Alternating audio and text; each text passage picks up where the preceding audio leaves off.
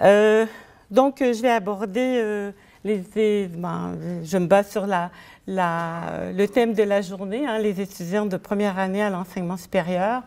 Et mon intervention, ça va être comment intervenir pour pouvoir leur réussite. Le rôle de l'université a beaucoup changé au cours des années. On est passé d'une université libérale où les profs étaient des disciplinaires et où on transmettait euh, nos connaissances aux étudiants à des universités qui doivent faire face aujourd'hui à des enjeux socio-économiques très importants et qui sont obligés de s'administrer comme des entreprises. Donc le contexte dans lequel nous agissons aujourd'hui a beaucoup changé. Il n'y a pas que les clientèles qui ont changé, les contextes aussi ont changé. Pourquoi ça a changé? Ben, pour plusieurs raisons. Euh, d'abord parce qu'on a tous été en pays industrialisé euh, des promoteurs de justice et d'égalité sociale. Et pour ce faire, on a ouvert toutes grandes nos portes à, tous les étudiants. Euh, où on s'est retrouvé aussi en milieu universitaire avec un éclatement des savoirs considérable on a vu se multiplier nos programmes à l'intérieur de l'université et même les disciplines se surspécialiser. On a beaucoup changé aussi parce que le diplôme ne garantit plus l'emploi. L'attitude des étudiants face au diplôme a beaucoup changé, entre autres à cause de ça. Parce que le marché du travail est devenu plus précaire et qui nous, et qui nous formule souvent des attentes très précises. L'approche par compétence n'est pas étrangère à ce contexte-là du marché du travail. Et puis, on a affaire à un contexte dans lequel le financement le sous-financement est devenu chronique. Partout à l'enseignement supérieur, on manque d'argent et ça fait déjà plusieurs années. Euh, tout ça a eu des conséquences sur l'enseignement supérieur. Oui, on a une population hétérogène, euh, on va éviter hétérogénéité, mais on a une population hétérogène euh, avec un taux d'échec et d'abandon élevé qui peine à choisir un programme et à trouver du sens au savoir et qui nous demande une formation utile pour trouver de l'emploi. L'enseignement supérieur se trouve aussi confronté à un manque de moyens financiers, donc il faut faire ça avec moins d'argent, moins de ressources, et on fait aussi face à un marché du travail qui est en attente d'une formation qui réponde à ses besoins. Alors voilà le contexte dans lequel on doit intervenir. Et qu'est-ce qu'on nous demande? Ben, Aujourd'hui, on nous demande de faire réussir un plus grand nombre, malgré les moyens limités et en prenant compte euh, les euh, attentes du marché du travail. Alors voilà une brève mise en contexte pour qu'on plonge vraiment euh, dans, le, dans le vif du sujet. Je vais vous présenter d'abord un modèle euh, qui, qui, explique euh, ou qui identifie les facteurs d'influence de l'abandon scolaire. Il est intéressant ce modèle-là parce qu'il sert de base à peu près tout ce qu'on a développé après ou autour sur les modèles explicatifs de l'abandon scolaire. C'est un modèle qui travaille sur l'enseignement supérieur, autant le niveau college, qui euh, correspond aux écoles ou qui correspondrait au cégep euh, chez nous, qu'au niveau universitaire. Et il est euh, vraiment centré sur ce que vivent les étudiants en première année à l'enseignement supérieur, tout simplement parce qu'on voit très bien dans toutes les études qu'on a faites que c'est là le nerf de la guerre, quand les étudiants parviennent à réussir leur première année universitaire, normalement, ils réussissent très bien par la suite. Donc, euh, comment faire et mieux comprendre pour mieux intervenir? Euh, voilà le modèle pour mieux comprendre. C'est pas très rigolo comme ça, mais vous allez avoir, euh, vous allez avoir la, diapo, vous allez pouvoir la regarder de plus près. vous allez remarquer qu'il y a différentes sections et qu'à ces sections-là correspondent des étapes. Alors, Vincent Tinto, parce que je ne l'ai pas nommé, Vincent Tinto est l'auteur euh, de ce modèle-là. C'est un modèle qui a évolué des années 1975 jusqu'aux années 1997. Je vous présente la dernière version du modèle. C'est un modèle qui n'est pas si complexe. Vous allez voir, on va l'explorer rapidement. Euh, Ce qui est intéressant, c'est qu'il euh, travaille, ou en tout cas, il décrit les facteurs qui jouent davantage aux différents moments du parcours de l'étudiant. Par exemple, au moment où l'étudiant doit quitter le niveau euh, antérieur. Admettons les étudiants du secondaire qui quittent pour s'inscrire en haute école. Ce sont davantage les caractéristiques qu'ils possèdent à ce moment-là qui vont jouer le plus sur sa capacité à passer cette première étape-là euh, de séparation, qu'elle appelle la séparation. Ensuite, au moment où il choisit son programme universitaire, ce qui va intervenir le plus, ce sont par exemple ses, ses intentions initiales. On entend par là ses motivations par rapport au programme, sa motivation par rapport euh, au fait d'obtenir des bonnes notes ou d'obtenir par exemple le diplôme. Et les buts et engagements, ici, j'ai marqué université, j'ai gardé uniquement ce terme-là, mais pour euh, Tinto, euh, c'est toujours college et euh, université. Les buts et engagements vers l'université, le choix de l'institution joue au moment où l'étudiant va passer du secondaire, par exemple, à une haute école. Euh, est-ce que c'est l'institution qu'il a choisie, son premier choix? Est-ce qu'il a l'intention de terminer ses études dans cette institution-là? Est-ce qu'il veut le diplôme de cette institution-là? Et ça va jouer sur l'étape de transition, le moment où il passe effectivement, où il débute, euh, euh, il passe du secondaire et où il débute à l'université. Tinto nous dit que tout ça, c'est important. Et il y a plein d'études qui se sont intéressées. Vous, tapez Tinto, il y a des centaines d'études qui, euh, euh, qui s'appuient sur le modèle de Tinto. Il y en a eu beaucoup. Il y en a eu beaucoup euh, qui ont porté sur tous ces éléments-là.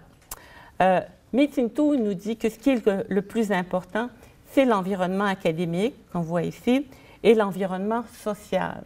Donc, c'est ce qui se vit à l'intérieur des murs de l'institution qui compte le plus. Euh, l'environnement social, la relation avec le prof, la relation avec les pairs, les autres, les étudiants, et aussi avec l'ensemble du personnel. L'environnement académique, c'est oui son rendement scolaire, mais c'est aussi ce qui se passe sur le plan académique euh, à l'université. Est-ce que j'ai le sentiment d'apprendre à l'université? Type de question, thème fait partie du questionnaire euh, quand on travaille avec le modèle de Sinto. Euh, est-ce que je perçois perdre mon temps à l'université? Alors, c'est euh, des dimensions qu'on travaille autour de l'environnement académique. Les premiers modèles, pas les premiers modèles n'incluaient pas ce volet-là. On passait tout de suite à l'intégration scolaire et académique. On disait si tout s'est bien passé euh, jusque-là, on est euh, euh, à la fin du premier semestre, l'étudiant est intégré sur le plan scolaire et sur le plan social. Et par conséquent, ben, il va avoir l'intention de poursuivre ses études, il va confirmer son engagement face à l'université. Et si tout se passe bien, il ne décide pas d'abandonner. Si tout se ne passe pas bien, il décidera d'abandonner. C'est au début des années 90 que Tinto euh, a réfléchi sur la salle de classe. À peu près tous les modèles qui se sont intéressés aux facteurs d'influence se sont intéressés à tout ce qui se passe autour de la salle de classe. Pour les, euh, pour euh, les institutions du postsecondaire, il était plus facile de mettre en place des interventions qui n'étaient pas en classe que des interventions en salle de classe toucher à la salle de classe, c'était très sensible. Alors, on, organisait des choses autour, mais pas à l'intérieur de la salle de classe. Mais la réalité, c'est que à peu près euh, euh, l'essentiel de la présence de l'étudiant à l'université est dans la salle de classe. Alors, Tinto dit, bien, c'est pas vrai que c'est toute l'université qui est si concernée que ça, c'est probablement d'abord la salle de classe. Et là, on a commencé à faire plusieurs recherches sur l'expérience de l'étudiant en salle de classe et ces recherches-là nous ont confirmé que cela est central. Et quand cela euh, euh, se passe bien, quand l'intégration se passe bien en salle de classe, les étudiants vont fournir les efforts nécessaires, ils vont par conséquent apprendre et par conséquent, ben, ils devraient euh, réussir leurs études et poursuivre. Alors, je vous ai montré grandes, les grandes lignes de ce modèle-là. Quand on le travaille, on, travaille souvent toutes les dimensions du modèle. il y a des, des items qui sont des items types là, pour cueillir de l'information par rapport à chacun de ces facteurs d'influence-là. Moi, j'ai fait deux recherches euh, en m'appuyant sur ce modèle-là pour mieux connaître euh, une population, euh, en fait deux populations, c'était deux recherches, deux populations très particulières. Alors, c'est un modèle qui nous permet de mieux comprendre. si je regarde, par exemple, parce qu'ici on s'est intéressé à ça, si je regarde les étudiants à temps plein, on voit qu'ils n'ont pas tout à fait le même profil que les étudiants à temps partiel quant aux euh, facteurs d'influence. D'où l'intérêt finalement de, euh, mieux comprendre euh, les populations auxquelles on se réfère. Je vous donne un exemple d'utilisation du modèle, un exemple francophone. C'est une recherche qui a été menée par l'Université du Québec. L'Université du Québec est une entité qui gère un ensemble de composantes. En fait, on a constitué un questionnaire qu'on demandait aux étudiants de compléter à l'entrée à l'université. Donc, il n'y a pas de question sur la salle de classe. C'est à l'entrée à l'université. On voulait connaître les caractéristiques des étudiants à l'entrée et voir comment ces caractéristiques-là euh, euh, coloraient finalement le, parcours des étudiants. Euh, il y a quand même 12 600 étudiants qui ont répondu à ce questionnaire-là, les facteurs d'influence changeaient. De, trois ans en trois ans, ils changeaient. Donc, on voit que la population évolue et que les facteurs d'influence évoluent aussi. La, il en demeure pas moins que le regard global qu'on a porté sur les étudiants qui persévèrent, on a remarqué, par exemple, que ces étudiants-là, au départ, ne prévoyaient pas arrêter euh, leur formation. Donc, euh, oui, je vais faire en continu. Considérer leur choix d'établissement comme étant définitif. Ah, peut-être que si j'ai l'occasion, je vais changer. Non, ils restaient là. Ont d'intérêt pour le programme depuis longtemps et euh, ce qui confirme l'intérêt de, de la situation, réussissent tous leurs cours au premier semestre. C'est vrai pour les étudiants à temps plein, ce n'était pas aussi prioritaire pour les étudiants à temps partiel. Donc, d'où l'importance de soutenir les étudiants pour qu'ils réussissent au premier semestre. Alors, mieux comprendre pour mieux aussi intervenir. Alors, il y a, comme je l'ai dit, plein de recherches qui ont exploré chaque facteur d'influence, mais ici, je vais vous présenter les résultats euh, d'un... On retrouve ça dans un bouquin d'un nombre incalculable de recherches je vous dis tout de suite, ce sont toutes des recherches américaines. Euh, Tinto, en 2012, qui a euh, publié ce répertoire-là. En fait, ce que Tinto voulait, c'est rendre compte des interventions. C'est particulièrement intéressant pour nous, des interventions qui favorisent euh, la persévérance scolaire, autant au niveau college qu'universitaire.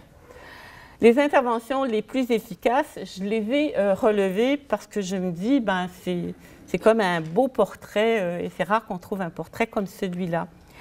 Formuler des attentes élevées. Ah, il recommande aux institutions et aux enseignants de formuler des demandes élevées. Vos demandes, elles sont peu élevées. Les étudiants ne vont pas voir le défi euh, qu'ils ont à relever. Il faut que le défi soit possible à relever, mais ils ne verront pas le défi à relever et ils peuvent avoir beaucoup moins d'intérêt euh, à faire leurs études. Le contrepoids, c'est qu'on va les informer beaucoup sur ce qu'ils ont à faire. Voilà nos attentes, mais voilà toute l'information dont vous avez besoin. Vous savez quoi faire, quoi apprendre, quoi produire dans le programme et dans le cours. Euh, on voit ici, j'ai mis en rouge parce que c'est un rôle euh, que joue euh, le professeur, l'enseignant, mais c'est aussi un rôle que peut jouer le programme et que peut jouer l'université tout le monde peut contribuer à donner une meilleure information aux étudiants. Les aider à valider leur cheminement et leur choix d'établissement. On a vu tout de suite là, euh, à l'Université du Québec que euh, le choix d'établissement joue un rôle. Donc, les accompagner, et ça, c'est souvent les, services aux étudiants qui vont jouer ce rôle-là. Ou même nous, en débutant le premier semestre, en ouvrant sur quelle voie vers quelle voie ouvre la formation euh, qu'ils vont suivre. Les étudiants s'inscrivent souvent à des formations sans savoir vers quoi euh, ça mène. D'ailleurs, c'est une des raisons pour lesquelles euh, ils quittent au premier semestre et qu'ils changent d'orientation. Concevoir des activités de socialisation à l'entrée pour favoriser l'intégration sociale. Vous vous rappelez que c'était un facteur d'influence considéré important. C'était même au départ pour Tinto le plus important. La relation avec le prof et la relation avec les autres étudiants est très importante. L'université peut organiser des occasions pour que les étudiants établissent des liens entre eux, mais nous aussi, on peut faire ça. Je me rappellerai toujours de mon fils qui euh, suivait des cours euh, à l'université depuis déjà un mois et je lui demandais euh, avec, qui, avec qui tu parles, qui tu côtoies dans ta salle de classe. Et Laurent me disait, ben, il s'appelle Laurent, c'est pas Laurent. Laurent me disait, ben, je ne sais pas, je n'ai pas parlé à personne. Alors, il était dans un amphithéâtre, il n'avait jamais eu l'occasion de parler à personne. Alors, quand Laurent manquait une séance de cours, il ne savait pas à qui se référer et il n'osait surtout pas se référer au prof. Alors, il, n'avait tout simplement pas d'informations sur le cours qu'il avait manqué. Donc, on peut organiser nous-mêmes euh, dans notre classe, même si on a des grands groupes, des petites activités de socialisation. Utiliser le mentorat par les pairs pour les guider. Euh, au Québec, on, euh, met sur pied des centres d'aide et qui sont souvent gérés par un ou deux enseignants, mais aussi par un groupe d'étudiants qu'on forme et qu'on encadre. Et ces euh, pairs-là euh, servent de référence à l'étudiant qui se questionne par rapport à son choix de carrière, mais aussi par rapport à l'étudiant qui a besoin d'aide. Il est parfois beaucoup moins embarrassant de consulter un père qu'aller consulter le professeur. Alors, c'est une pratique euh, très répandue au cégep particulièrement, mais dans beaucoup de facultés aussi à l'université. Offrir des formations pour développer des méthodes de travail efficaces. Euh, on a beaucoup parlé de développer la métacognition. Euh, les étudiants euh, souvent passent d'un niveau de formation à l'autre sans avoir vraiment développé ce qu'on s'attend à ce qu'ils aient développé. Quand on leur demande de faire un résumé, on est parfois très surpris de voir qu'ils ne savent même pas comment faire un, résumé ou ils ne savent pas comment rédiger une introduction. On a noté que euh, ça, ça, avait un effet très positif pour les étudiants. Soutenir les étudiants insuffisamment préparés, ben oui, faire des semaines euh, pour encadrer nos étudiants qu'on sait à l'avance euh, qui vont s'avérer très, euh, très fragiles, qui sont les étudiants à risque. Des interventions maintenant qui concernent beaucoup plus l'enseignant. Planifier un enseignement contextualisé interactif.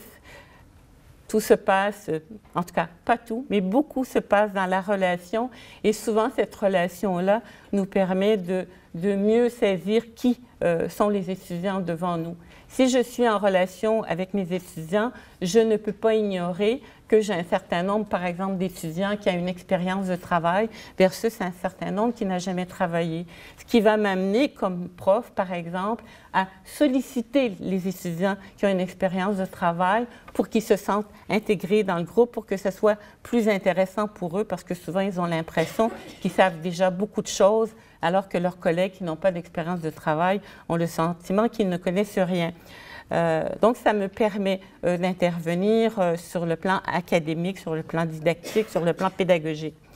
Faire en sorte qu'ils s'engagent dans leur apprentissage durant le cours, ben, c'est en les obligeant c'est en les obligeant à être actifs intellectuellement que je peux les amener à s'engager dans leur apprentissage. On a parlé d'évaluation. Bien oui, recourir à l'évaluation formative et l'évaluation certificative pour m'ajuster moi-même. Si les étudiants à l'évaluation formative sont incapables, par exemple, de répondre à mon petit euh, vrai ou faux, ben, peut-être faut que je me questionne sur ce qu'ils ont compris et peut-être que ce serait une bonne idée que je reprenne les notions qu'ils n'ont pas compris. L'évaluation formative pouvant avoir beaucoup de, de beaucoup de formules, euh, l'évaluation certificative pour pouvoir m'ajuster et pour pouvoir aussi, euh, comme je disais, euh, ajuster, que puisse s'ajuster comme étudiant. Offrir des rétroactions fréquentes pour guider les étudiants. quand on a 300 étudiants, comment faire? On en parlait, Laurent et moi, hier. Hein, comment on fait quand on a des grands groupes? il y a un défi important à cet égard-là. Favoriser le développement de relations signifiantes avec les enseignants et les, et pairs. J'ai entendu le terme bienveillance ce matin. je pense qu'il faut être bienveillant avec tous les étudiants de, tous les niveaux de formation. Prévoir un soutien financier pour ceux qui sont à faible revenu. Donc, on voit euh, comment le modèle ou des modèles peuvent orienter ma démarche euh, autant d'interrogations que d'intervention. J'ai gardé cette citation-là de Tinto euh, à la fin de... Là, c'est en préface, hein, mais c'est partout dans, dans, son bouquin. vous voyez, Tinto nous dit, mais oui, ce qui est important ou aussi important, c'est ce qui se passe dans la salle de classe et c'est le rôle, la contribution du prof à la réussite de l'étudiant en salle de classe. Je mène actuellement une recherche euh, sur les euh, nouveaux euh, enseignants-chercheurs et on fait des interviews on est à la deuxième année de la recherche, donc c'est la deuxième année que je fais, qu'on pratique des entrevues auprès des nouveaux profs. Et, je suis toujours surprise de voir, par exemple, quand je leur demande, quand on leur demande comment planifier votre cours, de voir que leur planification de cours est toujours centrée sur le contenu à transmettre on a du contenu à transmettre. Je, ne lis pas. Mais la planification de cours ne se fait pas sur les objectifs d'apprentissage que les étudiants ont à atteindre. Elle se fait toujours sur le contenu à transmettre. Et ça, même chez des professeurs qui ont reçu une formation pédagogique euh, euh, initiale. Alors, euh, je me dis que on n'est pas encore à l'ère du prof centré sur l'apprentissage étudiant, en tout cas pas tous les profs sont centrés sur l'apprentissage étudiant, et que pour que ce soit possible, il faudrait, il faudrait peut-être nous repenser comment on voit l'expérience de l'étudiant en salle de classe. À repenser euh, l'expérience de l'étudiant, c'est repenser nos pratiques. Mais pour repenser nos pratiques, la première chose à faire, c'est repenser notre vision de l'apprentissage. Est-ce que vous avez entendu parler du constructivisme? Du cognitivisme? Oui. Habituellement, on les place en binôme, hein? on les place un à côté de l'autre, alors que ce sont deux univers euh, bien, bien différents, le constructivisme et le cognitivisme. Mais ce sont les hypothèses actuelles euh, concernant l'apprentissage. On est toujours au, niveau des hypothèses et ces hypothèses-là vont être maintenues tant que la recherche ne va pas démontrer que ce ne sont pas les meilleures hypothèses. Donc, on travaille avec les hypothèses actuelles qui sont le constructivisme et le cognitivisme. Alors, je n'ai pas, euh, pas été capable de me décider à départager euh, lequel des deux j'allais vous présenter parce que c'est très à la mode. Euh, les deux, on, on, en parle beaucoup. Alors, ce que j'ai décidé de faire, c'est d'en garder, j'ai envie de dire, les fondements. Il y a des fondements communs à ce paradigme-là constructiviste et à, la théorie de l'apprentissage cognitiviste. Alors, je vais vous présenter les fondements. Quant à la mise en application, euh, elle, elle, est assez différente d'un à l'autre. La connaissance n'est pas transmise, elle est construite. Ah, c'est un fondement très important. Pourquoi on parle de constructivisme? C'est à cause de ça. C'est à cause de, cette dimension-là. Ça veut dire que ce que je vous présente en salle de classe n'est pas reçu euh, par l'étudiant comme étant une copie conforme, un portrait de ce que vous avez transmis. Pourquoi? Parce que les étudiants possèdent déjà des connaissances en général sur différents sujets et leurs connaissances peuvent être fausses, mais ils possèdent souvent des connaissances et où ils possèdent des croyances ou des représentations. Quand on enseigne, par exemple, à des personnes qui ont déjà une expérience de travail, ces personnes-là ont souvent beaucoup de croyances et de représentations. Et si on ne travaille pas à construire à partir de ces connaissances et de ces représentations-là. Euh, on appelle ça le, mode Tefal, c'est la, la, poêle anti-adhésive.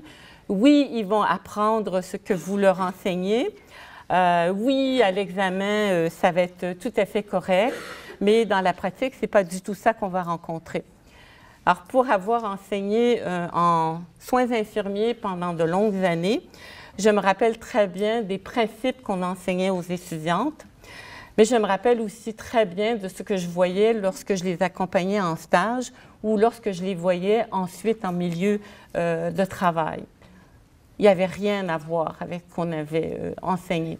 Les étudiants, d'ailleurs, arrivés en stage, ils nous disaient Ah, j'ai enfin l'impression d'apprendre quelque chose. Ils n'avaient rien appris à l'école, ils apprenaient tout euh, euh, en milieu de stage et quand ils arrivaient en milieu de travail, ils réapprenaient selon ce que le milieu de travail euh, leur, leur présentait. Et une des raisons pour lesquelles ça se passait comme ça, c'est qu'on ne travaillait pas sur ou avec ce qu'elles pensaient ou ce qu'elles connaissaient déjà, sur les représentations qu'elles avaient déjà de la connaissance. Donc, repenser l'apprentissage, c'est revoir notre définition de la connaissance, mais aussi se rappeler que pour apprendre, les connaissances doivent avoir du sens pour l'étudiant. On a beaucoup parlé de motivation à apprendre euh, également ce matin. J'ai fait beaucoup de recherches sur la motivation à apprendre et, effectivement, quand on parle de réussite, euh, il y a toujours la motivation qui se croise, mais d'ailleurs, on, le voit ici. Donner du sens, c'est-à-dire euh, donner de la valeur à ce que les étudiants euh, euh, viennent apprendre, c'est leur dire à quoi ça sert, l'importance, l'intérêt de ce qu'on leur présente, pas juste dans le programme, mais aussi dans chaque séance de cours. Les rendre actifs intellectuellement, j'en ai parlé juste avant. Je ne fais pas beaucoup ça actuellement. J'espère que je ne vous ai pas tous perdus. Il paraît qu'après 20 minutes, le niveau euh, d'attention baisse. Je vous surveille. OK. Euh, alors, les garder actifs intellectuellement, ça veut dire euh, leur demander de me fournir un exemple, se mettre en binôme pour faire une application, euh, travailler en petits groupes pour faire des liens entre ce qu'on vient de dire en salle de classe ou de voir et euh, ce qu'ils avaient à lire auparavant. C'est compléter un réseau de concepts ou euh, se mettre en petite équipe pour travailler sur un réseau de concepts qu'on appelle aussi une, une carte conceptuelle, qu'on appelle aussi de bien d'autres façons d'ailleurs. Il y a plein de façons de vous assurer que vos étudiants soient actifs intellectuellement. Pour qu'ils soient actifs intellectuellement, pour qu'ils utilisent leurs connaissances en salle de classe, il faut le prévoir. Et souvent, ça, on ne le prévoit pas. Quand j'interviewe les profs et qu'ils me disent que quand ils planifient leur cours, ce qu'ils planifient, c'est le contenu à transmettre, ils n'ont rien planifié comme activité. Souvent, ils vont, y penser, ils vont y penser juste un petit peu avant le cours. Et finalement, s'ils pensent ne pas avoir assez de temps pour tout couvrir euh, la matière, ils vont laisser faire tous les exercices et tout. Euh. alors qu'on sait très bien que les étudiants, euh, quand on transmet euh, un contenu et que les étudiants demeurent passifs, ils oublient 80% de ce contenu-là peu après le cours. Donc, on n'est pas gagnant. Je devrais me dire la même chose d'ailleurs, je ne suis pas gagnante à vous transmettre comme ça, mais donc il faut planifier à l'avance ces moments-là où les étudiants vont être actifs intellectuellement. Euh, et la collaboration entre les étudiants. Les étudiants apprennent beaucoup plus avec les autres. Alors, quand je parlais de mettre les étudiants en binôme, mettre les étudiants en équipe, il faut beaucoup le pratiquer. Ça vous demande, vous, beaucoup d'interventions pour faire en sorte que tout se passe bien. Il faut que tout ça soit bien cadré pour pas qu'on perde nos étudiants euh, en salle de classe. Mais euh, prévoir des échanges avec les étudiants favorise entre autres le conflit cognitif si vous vous intéressez euh, aux théories de l'apprentissage, vous allez voir que c'est un concept qui est très fort. Repenser l'enseignement. On intervenait euh, en équipe euh, ce matin et comment faire pour, pour prendre en compte nos, populations hétérogènes? Bien, la première chose à faire, c'est de les connaître. À qui j'ai affaire? J'ai fait une étude dans, une, dans un une IUT, un institut universitaire technologique qui correspond beaucoup euh, aux hautes écoles ou euh, au cégep technique chez nous. Alors, j'ai fait une étude dans un programme où on me disait, je perds la moitié de mes étudiants entre le premier et deuxième semestre, alors qu'ils faisaient une sélection très serrée de leurs étudiants. Un programme qui était en demande. Il y avait beaucoup d'étudiants qui appliquaient dans le programme, qui faisaient des demandes d'admission. On faisait euh, des entrevues pour valider le niveau de motivation des étudiants, justement pour éviter de perdre beaucoup d'étudiants comme ça. Et surtout, on choisissait les étudiants qui étaient les plus performants. Euh, en faisant l'étude euh, et en cherchant à mieux connaître d'où venaient les étudiants inscrits à ce programme-là et qui persévéraient dans le programme, on s'est aperçu que ce sont les étudiants qui ne favorisaient pas dont on ne favorisait pas l'inscription, qui étaient les étudiants qui réussissaient le mieux et qui persévéraient le mieux. On n'avait pas le préjugé que cette population-là, en particulier, pouvait réussir dans le programme. Donc, on passait juste à côté de la population étudiante la plus intéressante euh, pour le programme. Et moi-même, je l'ai validé dans des recherches qu'on a fait au Québec. Par exemple, euh, on a travaillé, euh, j'ai travaillé sur une passerelle entre la formation professionnelle au secondaire et la formation technique au cégep. Euh, on permettait aux étudiants d'un niveau de formation à passer à un autre niveau et on reconnaissait un certain nombre de cours.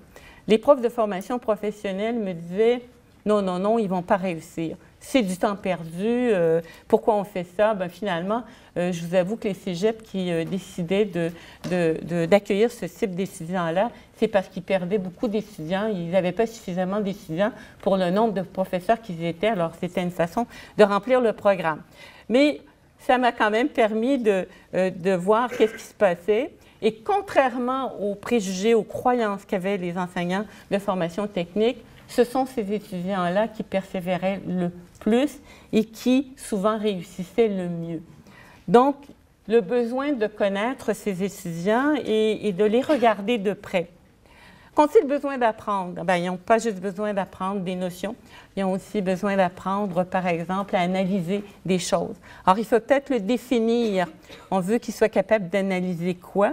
Et si on veut qu'ils soient capables d'analyser, il faudrait peut-être qu'on leur montre comment faire, comment analyser. Alors, il faudrait qu'on prévoie des activités qui leur permettent, euh, entre autres, de développer ces habiletés-là. Soutenir l'apprentissage, euh, bien sûr, soutenir l'apprentissage, ça veut dire, par exemple, euh, être disponible pour répondre aux questions. Quand je demandais aux étudiants dans quel cours ils pensaient apprendre le plus, et après, je leur demandais pourquoi vous avez la perception de mieux apprendre dans ce cours-là revenait toujours, le prof, le prof est disponible pour répondre à mes questions. Je peux aller voir le prof après le cours pour euh, lui, euh, lui demander quelque chose. Il est toujours ouvert aux questions que je pose. Donc, soutenir l'apprentissage, c'est entre autres cela. Évaluer ce qu'ils ont appris. Euh, souvent au postsecondaire, l'évaluation, c'est comme une chasse entre le chat et la souris. les étudiants doivent deviner ce que le prof va évaluer. Étant donné que l'évaluation certificative, euh, son but premier, c'est de vérifier si l'étudiant a appris ce qu'il devait apprendre dans la perspective de l'apprentissage. Euh, ce n'est pas jouer au chat et à la souris euh, qui va nous permettre de vérifier si les étudiants ont appris.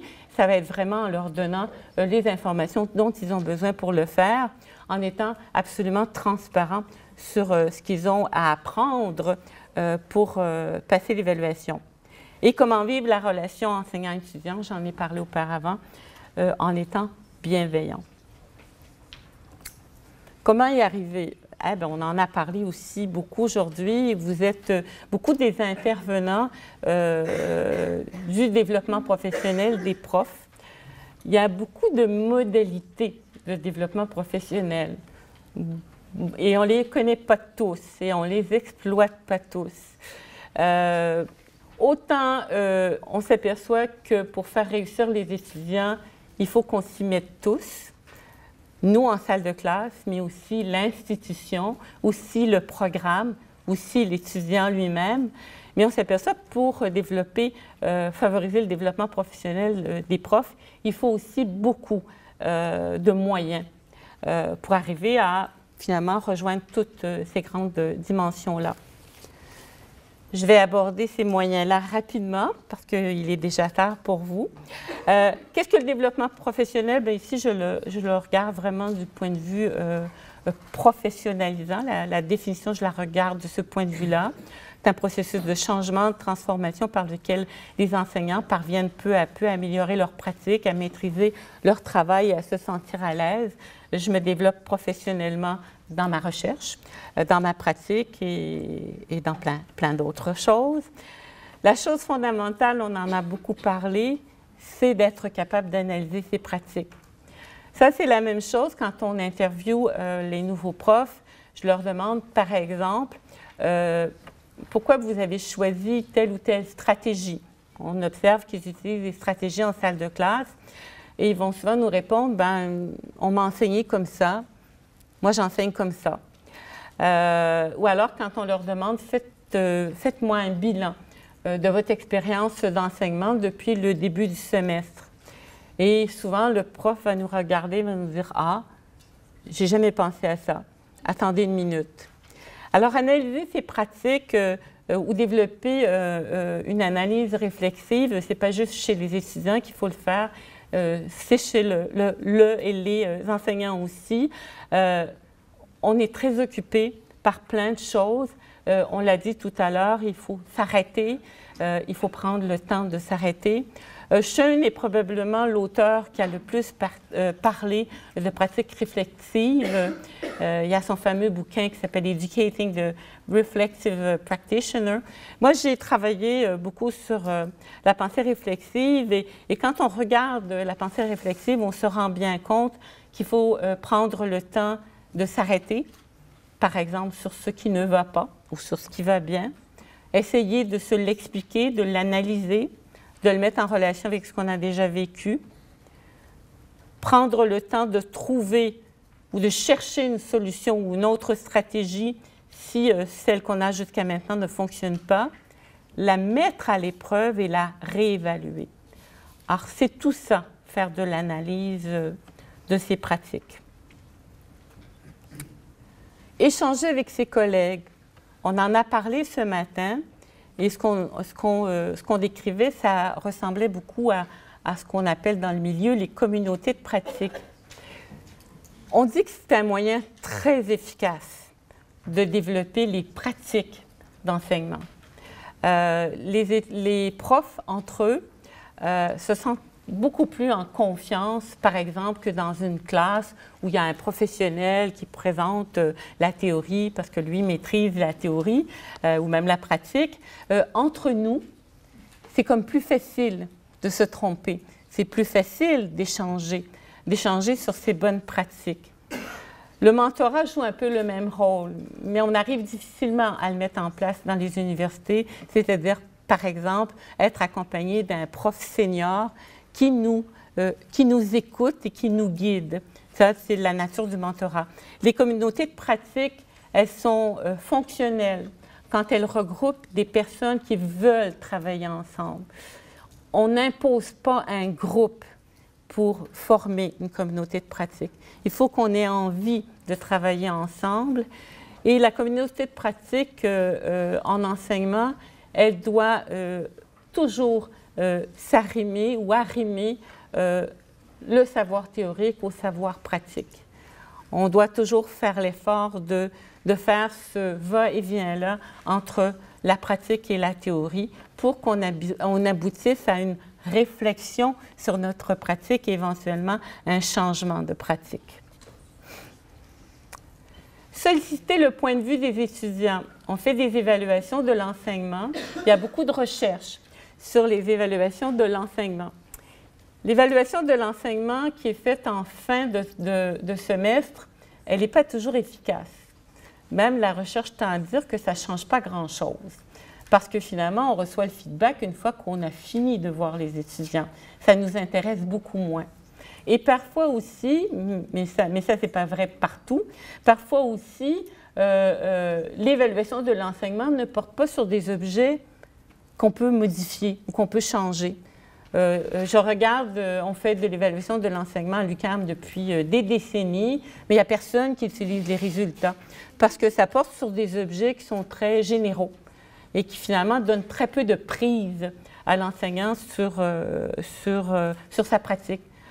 Euh, donc, on, recommande plutôt de faire des évaluations de l'enseignement en choisissant des objets sur lesquels le prof peut travailler et peut-être penser à des évaluations de l'enseignement euh, plus tôt euh, dans le semestre de manière à ce que le prof puisse intervenir face à tout ça.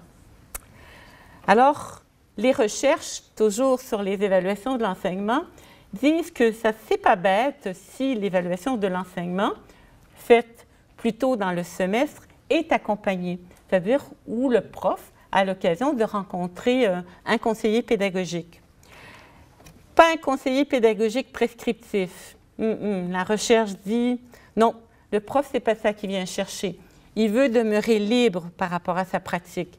Le prof qui euh, décide pour, euh, pour le, le conseiller pédagogique qui décide pour le prof propose euh, un diagnostic et des solutions. Non, c'est pas ça qui est fonctionnel. Ce qui est plus fonctionnel, c'est un accompagnement collaboratif où le conseiller pédagogique va encourager finalement le prof dans sa réflexion et au besoin va lui donner des conseils.